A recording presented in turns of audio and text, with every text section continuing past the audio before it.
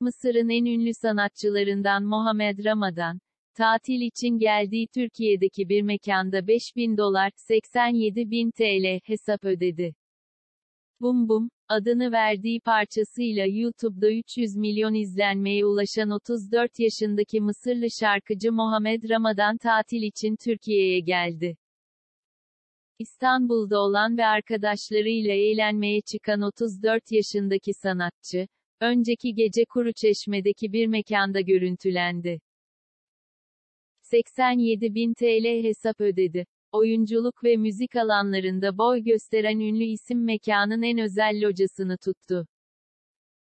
Kalabalık arkadaş grubuyla eğlenen Mısırlı Mohamed Ramadan, gece sonunda 5000 dolar yani 87 bin TL hesap ödedi. Yaptığı şarkılar ile tüm dünyada şöhrete kavuşan şarkıcı, mekan girişinde kalabalık bir şekilde karşılandı.